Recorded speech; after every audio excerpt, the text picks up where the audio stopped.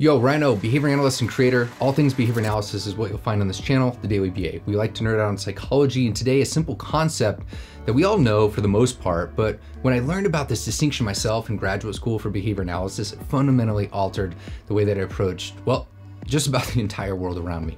And that's no joke. In behavior analysis, it's assumed, and there's actually substantial evidence for that your behavior, my behavior, our behavior as living organisms is influenced in part by the world around us. That is, the environment influences our behavior. And not only the stimuli or things around us that influence us doing things, but the conditions that follow, the stimuli that follow after our behavior, such as maybe the comments after I post this video, right, can also influence our behavior. As a quick example, our phone is actually full of what a behavior analyst would call antecedent stimuli. These things that precede our behavior, of which there's a whole lot of things we could do with this, right?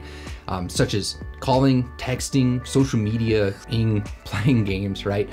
But all of these behaviors that I just listed also have stimuli that follow them, or postcedents. And that's just a fancy word for the stimuli that just happen afterwards. So for example, the sight of a text message popping up on my phone is the antecedent stimulus that will lead to my behavior picking it up, texting, typing my reply, and then sending it, which is followed by a whole list of different stimulations, such as like the feeling and the sight of the corresponding uh, words and text being formed, as well as like the send and the actual delivered message underneath. So with that out of the way, objects can be thought of and each one can be actually analyzed individually. That is for you, for each person in two ways. Stimulus as objects and stimuli and their functions. Stimulus objects, stimulus functions. So stimuli as objects. These are the physical properties of something. And we could take my hydro flask here. For example, uh, the actual measurements, what it's made out of, how all the atoms are organized, uh, the actual like size and shape.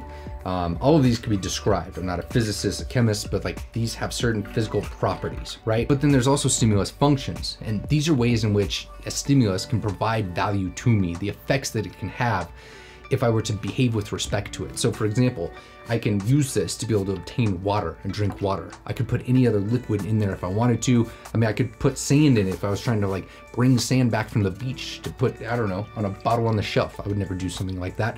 But it's an example of how it can function in different ways. I could also like throw it at the screen. Maybe you just flinch there as a result. Um, I could use it if there's an intruder to be able to defend myself. Like I could use it as a rolling pin. I could put booze in it. I could sneak it in. I could sneak my snacks in to like the movie theater with it. I could use it as a paperweight, hold things down. Stickers, things like this uh, could be signals to like interact with me on some sort of social level of like, why do you have a Reno sticker? Or why do you have a Grand Teton sticker?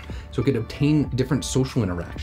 These could have limitless theoretically, functional properties. In each of those silly or real cases, what I've done is describe different ways in which that stimulus, my hydro flask, may function for me. And quick side note, we could further classify these if we wanted to into different classification systems such as reinforcing effects, punishing effects, etc. So why does this matter? Well, each of us has a unique history of interacting with the world around us. And stimuli come to function or interact with our behavior with us, both as objects, but really also as functions. And function in particular was very interesting for me. Some of these functions are more known across cultures, such as devices for drinking, right? Like we can probably recognize those across cultures, generally speaking.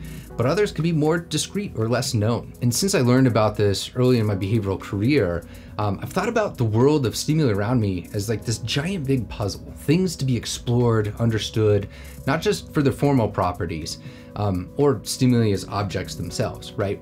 But for their functions that they can provide to me or perhaps provide to others or society at large. It's kind of absurd, but I want to learn all the ways in which stimuli may function for humans within reason, like ethics and morals, of course, right? But there's so many out there, like I don't think I'll ever achieve that but it doesn't mean I won't stop learning about them. This video is brought to you in part by patrons, people like you that support my efforts financially. For three years now, I've actually made these videos and lost money, like actually lost money. And I create these because, well, I think it's important. The field's important, the findings are important, the people are important that are doing important things. Um, and they need to be heard by people like you. So if you're interested in helping support, consider supporting me down on Patreon, top link down below. And if anything, just I hope you learned something. Like, share, subscribe. Like those things actually make a difference. Um, and share it with a friend perhaps. Thank you so much. And that's your Daily BA.